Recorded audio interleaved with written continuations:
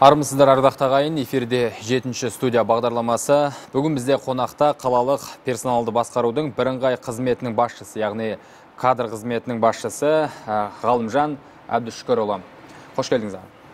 Қош. Ә, жалпы енді бүгінгі таңда жастарымыз ә, тақырыбымыз жалпы мемлекеттік қызметке қатысты ғой. Жалпы мемлекеттік қызметкер болғысы келетін жастарымыз өте көп. Енді мына кадр ә, қызметін басқарып отырсыз. Жалпы қала бойынша жалпы осы мемлекеттік қызметке қызығушылар жастар ә, көп пе? Және ә, қандай вакансиялар бар бүгінгі таңда?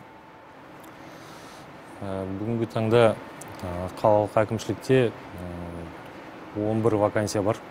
11 вакансия. Ол мынау тұрғын үй коммуналдық шаруашылық жағынан ә, сәулет және қала құрылысы бөлімінен ә, тұрғын үй коммуналдық шаруашылық бөлімінен ә, ауылдық округтерде дене шынықтыру спорт бөлімінде ол бөлімдерде бүгінгі күнге вакансиялар бар. Бүгінгі таңда қазір бүгінгі күнге мынау огни алатау жетісу газетіне хабарландыру жарияланды. Осы ә, дүйсенбі күні хабарландыру жарияланды. Келесі аптаның соңына дейін заң бойынша 10 күн 10 жұмыс күні құжаттар қабылданады. 10 жұмыс күні құжаттар қабылданады. Ә, бүгінгі күнде қызығушылық танытып ә, үміткерлер құжаттарын тапсырып жатыр. Құжаттар тапсырылу жалғасып жатыр. Сол бойынша яғни бұл 11 орын қазір бос тұр. Қанша уақыт болды бұның бос тұрғанына 11 орынның вакансияның? Қанша уақыт болғанда ол ә, біреулер жұмысқа қабылданады біреулер кетеді ол ә, сол жинақталып бір берілетін ә, хабарландыру. Дәл бүгінгі таңда 11 вакансия бар. 11 вакансия бар. Жалпы енді бұл орындарға орналасу үшін жұмысқа тұру үшін қандай тәртіптер бар? Кімдер орналаса оған? Э, мынау мемлекеттік қызмет туралы заңға байланысты. Э, мемлекеттік қызметке орналасу өзінің тәртібі бар. Э, ол бұл жерде жазылған. Э, 18 жастан э, жасы кем болмау керек. Э, бұрын сотталмаған болу керек. Оның э, қажетті білімі болу керек. Кәсіби даярлығы болу керек деген өзінің талаптары бар. Сол талап бойынша э, бізге одан кейін мынау э, неге мемлекеттік қызмет істері туралы агенттіктің мына жерде э, қос қалада өзінің тест э, тесттен өту орталығы бар. Сол жерден тесттен өтіп тесттен өтіп э, қажетті балл жинаған мемлекет жинаған азаматтар қолдарына сертификат алады. Сол сертификат міндетті түрде сертификаты болуы керек. Сол тест тапсырғандығы туралы. Э, сол бойынша бізге конкурсқа қатыса алады түсінікті. Ал қанша Иә. жастан бастап бұл жаңа конкурсқа қатысуға құқылы азаматтар? 18 жастан кем емес. 18 жастан кем емес. 18 жастан кем емес. Қазір кез келген жұмысқа барса жаңағы ә, жұмыс өтілін сұрайды.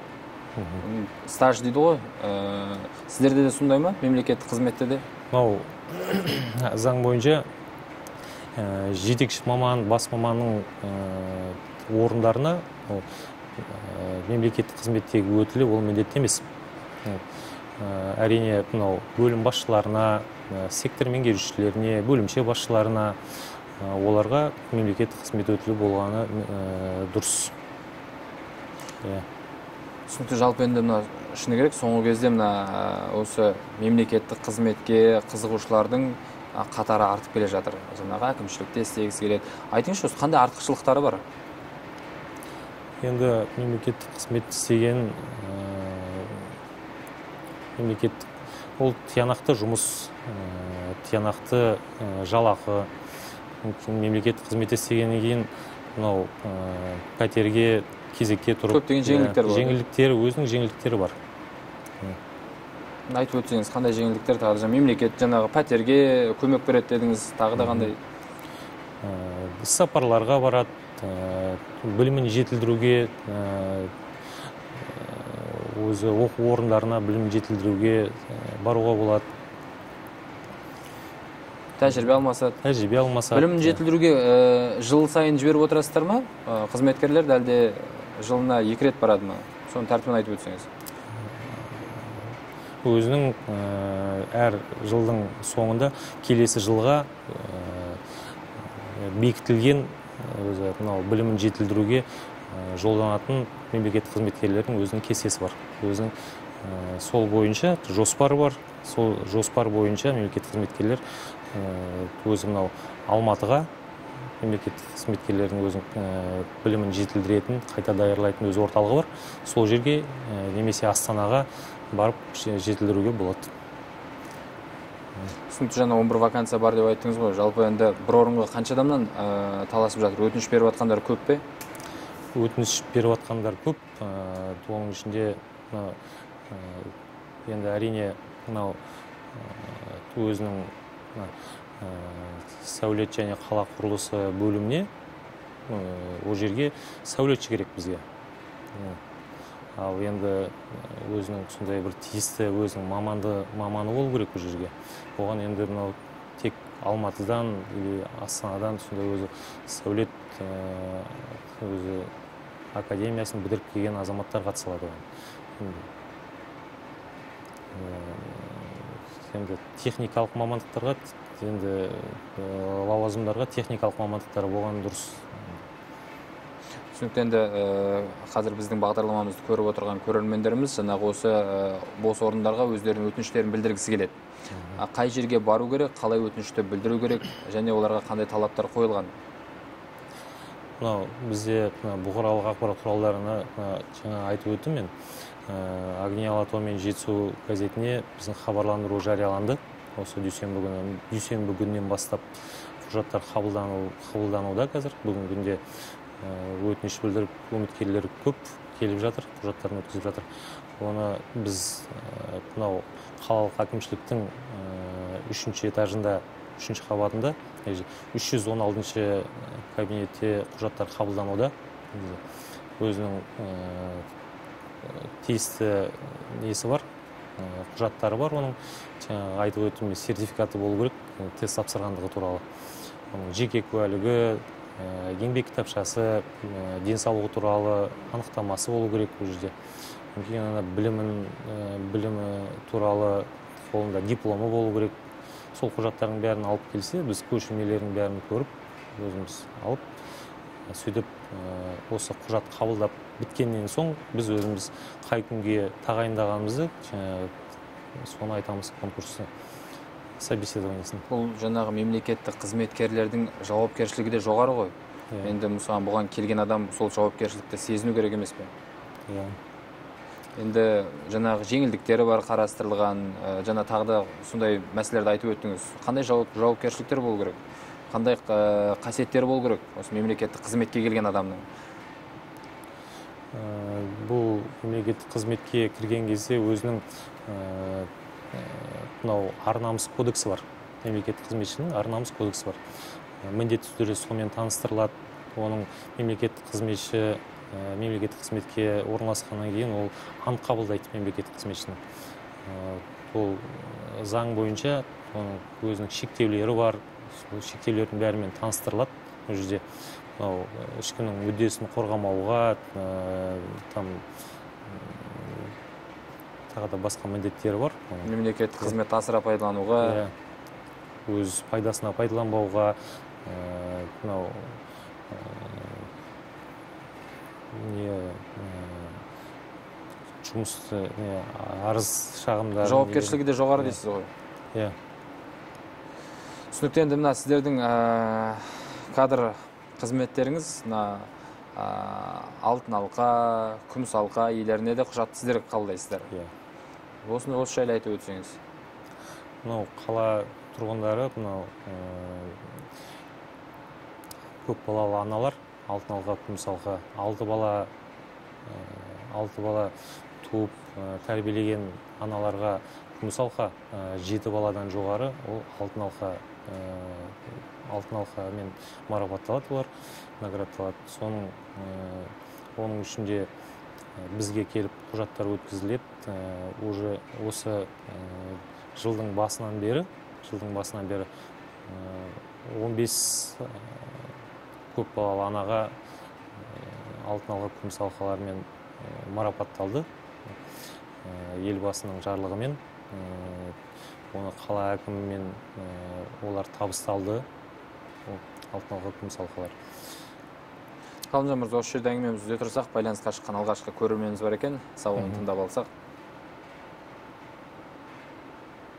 Алло саламатсыз ба саламатсыз мен мына мемлекеттік сертификат дейді ғой тестілеу сонда сол тестілеу қанша уақытқа жарамды екен өткеннен кейін рахмет соны білейін деп едім ол мынау жаңағы тапсырылған тест ол бір жылға жарамды бір жылдың ішінде бір жылдың ішінде сол сертификатпен кез келген уақытта конкурсқа қатысуға болады құжаттар тапсыруға болады сертификат бір жылға жарамды. Яғни әр жыл сайын кез келген мемлекеттік қызметкер жаңағы тесттен өтіп отырады. Жоқ мынау мемлекеттік қызметке кіруге үміткерлер. Үміткерлер. Үміткерлер сол үміткерлер тестті тапсырған тестін сол бір жылдың ішінде пайдалануы керек бір жылдың ішінде. Түсінікті. Енді ғалымжан мырза мынау жаңағы қанша көп болса осы мемлекеттік қызметке жаңағы қызығатын азаматтар. Көбіне жаңағы сондай бір көңілдері қалып жұмыстан кетіп жатқандар да бар. Ол жасырын емес. Мысалы жалақысын айтады. Осы жағын айтып өтсеңіз. Енді мемлекеттік қызмет жұмысы көп жалақысы аз деп жаңағы бір шағымданып жатады. Жеке кәсіппен айналыссам одан да деп. Әрине енді мемлекеттік қызметке келіп жатқандар да көп енді кетіп жатқандар да көп. Енді мүмкін жақсы жұмыс табатын шығар. Мүмкін жоғарылаймын деп басқа жақтан жұмыс іздеп кететін шығар. Ал енді бұл қалада талдықорған қаласы облыс орталығы болғаннан кейін бүкіл мемлекеттік мекемелер облыстық әкімшілік облыстық әкімшіліктің басқармалары болғаннан кейін бұл жерде баратын жұмыс жұмысқа тұрамын деушілерге үміткерлерге жол ашық жол ашық мүмкіндіктер бар да оның. Жұмысы ана жақтан мына жақтан мына мекемеден ана мекемеден іздестіріп қарап енді жалақысы көбірек енді лауазымы үлкендеу деп енді сөйтіп жұмыс іздейтіндер бар. Осы жас мамандар осы мемлекеттік қызметке келген жаңадан жас мамандар айлықтары қанша болады олардың? Ол осы әкімшілікке кірген мамандардың орта есеппен? орта есеппен жетекші маман орта есеппен елу мыңның айналасында алады қолына алатын елу мыңның айналасында болады. Бас мамандар алпыс мыңның айналасында болады. Мен бухгалтер емеспін енді бұл орта есеппен орта есеппен айтқанда сондай болады. Бізде осы талдықорған қаласында жаңағы кадр алмасу жиі бола ма? Жаңағы келіп кетіп жатқандар? Облыс орталығы болғаннан кейін жиі болады. Иә облыс орталығы болғаннан кейін жиі болады. Түсінікті және алтын алқа күміс алқа жайында айтып отырсыз. Енді жалпы осындай батыр аналарымызға осындай отбасыларға қандай көмектер қарастырылған қандай жеңілдіктер қарастырылған? Мынау ол батыр аналарға егер осы қаланың аумағында болса ол құжаттарды бізге өткізеді. Ол үшін құжаттар мынау балалардың туу туралы куәліктердің көшірмелері мынау нелері мекенжай анықтамалары жаңағы жеке куәліктердің көшірмелері өзінің құжаттары бар сол құжаттармен келеді. Біз сол құжаттардың бәрін жинақтап оны облыстық әкімшілікке өткіземіз. Облыстық әкімшіліктен олар мынау астанаға уже қарауға жібереді. Астанаға ол жерде міндетті түрде ол заң бойынша алты бала туып қана қоймай ол заңда жазылған алты бала туып тәрбиелеген үшін деп жазылған ол жерде тәрбиелеген үшін деп. Сол үшін оны астанада қарастырған кезде оның ішінде тәрбиесіз де қарастырылады оның ішінде. Оның ол алты баланың жеті баланың ішінде әрине сотталмаған да болғаны дұрыс енді. Түсінікті яғни оларға жаңағы жер мәселесі болсын үй мәселесі болсын жеңілдіктер қарастырылған ғой. Ол қарастырылған оны ол да ол түсінікті кезекті тағы да көрерменімізге берсек байланысқа шыққан көрерменіміз бар. Алло? Саламатсыз ба? Саламатсыз. Алло ассалаумағалейкум уағалейкум ассалам ғалымжан мырза жас ерекшелігі қандай мемлекеттік істер істейтін адамдар? Бестен жоғары аласыздар ма? Түсінбедім. Қалай? Тұрақты жаңа сіз айтып өттіңіз менің түсінуім бойынша енді 18 жастан бастап ә, мемлекеттік қызметке жаңағы өтініш бере алады деп а, бірақ осы орта жастан асқан елу жастан асқан елу бес жастан асқан азаматтар мемлекеттік қызметке кіре алады ма? Олай кісілерге шектеу жоқ. Шектеу жоқ. иә. Ондай кісілерге шектеу жоқ. Түсінікті. Яғни қанша жасқа дейін жаңағы мемлекеттік қызметке келем десе де өз еркі. Өз еркі только зейнет ә, тек мына зейнеткерлік жасқа толып кетпесе болды. Кез келген ә, жаста келіп қолында білімі несі ә, қажетті білімі даярлығы қолында дипломы тесттен өткен болса қолында сертификаты болса кез келген зейнеткерлік жасқа дейін мемлекеттік қызметке кіруге болады. Түсінікті егер оның жаңағы мамандығы басқа болатын болса ол жаңағы осы әкімшілікке келіп жұмыс жасаймын десе қайта даярлаудан өткізіп осы ә, мемлекеттік қызметке жұмысқа кіре алады ғой? Ол ол былай ғой мынау былай айтсақ қала құрылысы сәулет бөлімінде ол жерге сіздің мұғалімдік педагогикалық гуманитарлық мамандықпен барып ол жерге жұмыс істей алмайсыз ол жерге. Ол жерге өзінің маманы керек ол жерге сәулет керек. Құрылыс бөліміне оған құрылысшы керек. А егер гуманитарлық мынау ә, педагогикалық болса онда бізге жұмыс істеуге болады. Соның әр өзінің бөлімі бар ә, білім бөлімі бар ә, ішкі саясат бөлімі бар басқа да бөлімдер бар. Оның маманы сәйкес келетін өзі лауазымдар бар. Сәйкес келетін лауазымдармен жұмыс істейді түсінікті енді ә, жаңағы вакансияларға қайтып оралатын болсақ ә, екі аптаның ішінде бұл вакансияға егер адамдар келмейтін болса ол әрмен қарай созыла ма әлде ол вакансия жабылады ма? Екі апта осы екі аптаның ішінде он жұмыс күнінің ішінде құжаттар қабылданады. Келесі аптаның соңына дейін. Осы ә, оның ішінде егер егер де оның ішінде кейбір лауазымдарға құжаттар өткізілмесе олар қайта жарияланады қазір. Ол бізде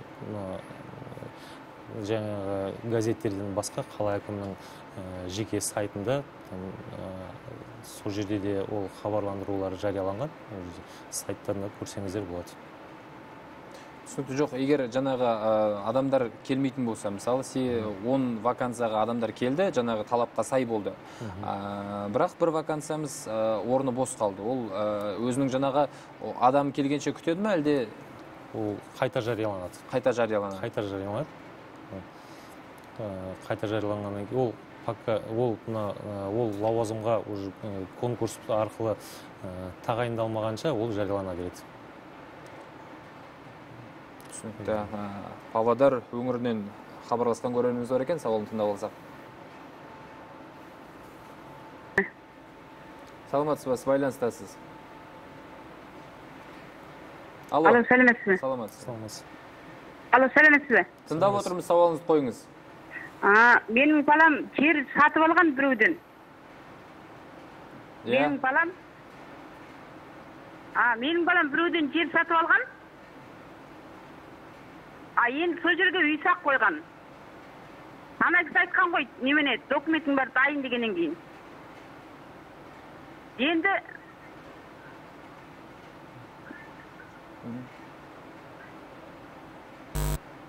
өкінішке орай байланысымыз үзіліп кетті. Енді бұл біздің тақырыбымызға сай емес деп ойлаймын сауал.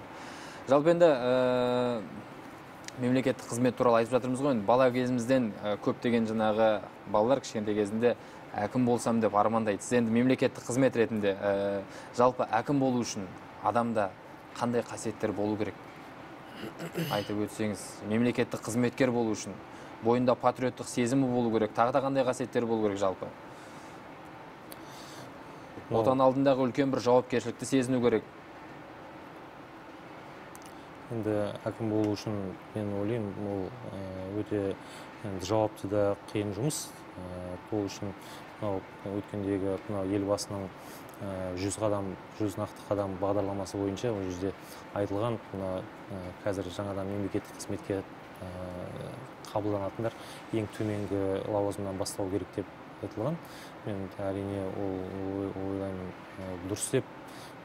Мына төменгі жетекші маманнан бас маманнан бөлім басшысынан бастаған азаматтар енді мынау төмен жақтағы бүкіл жұмыстың бәрін көрген адам ол кісілерге ондай үлкен лауазымға бару оңай болатын шығар деп ойлаймын бірақ әкім болу үшін оның өзінің талаптары бар ол жерде түсінікті тақырыбымызға сай жаңа өзіңіз алтын алқа күміс алқа иегері деп айтып кеттіңіз. Жалпы қала бойынша бүгінгі таңда бізде қаншама осы батыр ана бар? Алтын алқа иегерлері күміс алқа иегерлері? Алтын алқа күміс алқаны біз мынау екі мың бесінші жылдан бастап если егер қателеспесем екі мың бесінші жылдан бастап беріліп бастады. Содан бері бүгінгі күнге қала бойынша бүгін қала бойынша 500-ге жуық 500-ге жуық алқалар берілді. Бүгінгі бүгінгі күнге дейін. Енді қазіргі кезде енді айына құжаттар өткізіледі. Бірақ көп емес. Әрине енді көп болғаны деп көп болса деп біз де ойлаймыз енді қалада. Бірақ өкінішке орай ондай көп емес. Енді төрт бес адам енді айына түсінікті ғалымжан мырза жалпы енді мемлекеттік қызмет төңірегінде айтып жатырмыз ғой енді. Жа осы жыл басынан бергі жұмыстарыңызға қорытындылап кететін болсақ жаңа өзіңіз әңгімеңізде айтып қалдыңыз. Мына кадр алмасу жиі болады деп. Осы жыл басынан бері 2015 жылы қанша маман өзінің орындарын босатып және оның орындарына қанша адам келді? Жалпы жас мамандарға қазір қандай жағдайлар жасалған? Бүгінгі күнге осы жылдың басынан бастап жылдың басынан бастап 31 конкурс жарияланыпты отыз біз конкурс жарияланыпты оған 37 азамат қатысқан екен. Оның ішінде 19 әйел кісілер. Ол мынау мемлекеттік қызметке орналасу әрине конкурс арқылы болады. Ол жерде мынау бізде қалада бірыңғай конкурс комиссиясы бар. Қала әкімінің орынбасарынан мына бөлім басшыларымен құрылған бөлім басшыларының қатарында бар. Сол комиссия арқылы комиссия ол собеседование дейді ғой. Соған кірген кезде сұрақтары өзінің тиісті сұрақтар қойылады білімін көрсетеді. Сол жерде комиссияның шешімімен қайсы үміткерді жұмысқа қабылдау туралы ұсыныс білдіріледі сол комиссиямен. Түсінікті жас мамандарға қандай жағдайлар жасалып жатыр бүгінгі таңда талдықорған қаласында?